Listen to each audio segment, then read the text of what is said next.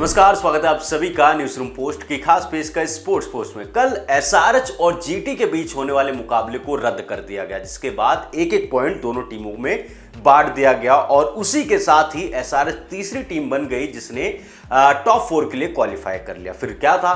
कि एसआरएच की जो आ, कह सकते हैं कि सपोर्टिंग स्टाफ है या फिर डगआउट है या फिर जो उसके ऑनर्स थे उनमें एक अलग ही जोश और एक अलग ही खुशी देखने को मिली। पर सबसे ज़्यादा चर्चा यहाँ पर उनकी मालकिन काव्या मारन की हो रही है। आपको बता दें काव्या मारन अपनी टीम को सपोर्ट करने के लिए हमेशा ग्राउंड पर मौजूद होती हैं।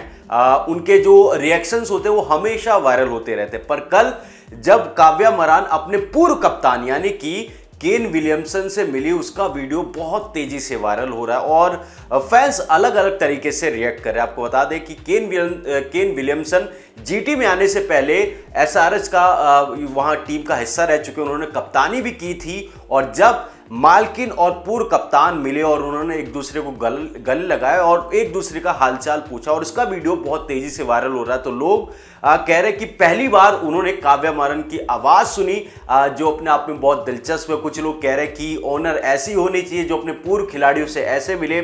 और आपको बता दें कि दोनों के बीच जिस तरीके से आ, मिलनसार वो भाव देखने को मिला लोग उसको बहुत ज़्यादा पसंद कर रहे हो। काव्या मारन के तो आ, ऐसा लगता है कि अलग ही फ़ैन फॉलोइंग है क्योंकि उनके रिएक्शंस हमेशा हमेशा आईपीएल के इतिहास में वायरल होते रहे और जिसके बाद कल तो एक अलग ही आ, कह सकते हैं कि उनके लिए खुशी का मौका था कि उनकी टीम क्वालिफाई कर गई। मैच भले ही नहीं हुआ पर एसआरएच को उसका फ़ायदा मिला और जीटी के दो मुकाबले जो हैं वो रद्द हो गए और उन पिछला मुकाबला भी बारिश और तूफ़ान की वजह से नहीं हो पाया और ये वाला मुकाबला भी बारिश और तूफ़ान की वजह से नहीं हो पाया। जीटी का सफ़र तो खत्म हो गया, पर एसआरएच के लिए बहुत कह सकते हैं कि सुकून भरी वाली बात होगी, क्योंकि वो ऑफिशियल रूप से अब क्वालिफाई कर गए अब उनके पास मौका है कि वो अगर अपना अगला बचा हुआ मैच भी जीत लेते हैं तो वो टॉप टू की जो लड़ाई है ना, उसमें भी वो आ सकते क्योंकि राजस्थान का अगला मुकाबला है के के साथ, जो बहुत ही टफ मुकाबला कह सकते हो। राजस्थान अपने पिछले चार मुकाबले हार कर आ रही है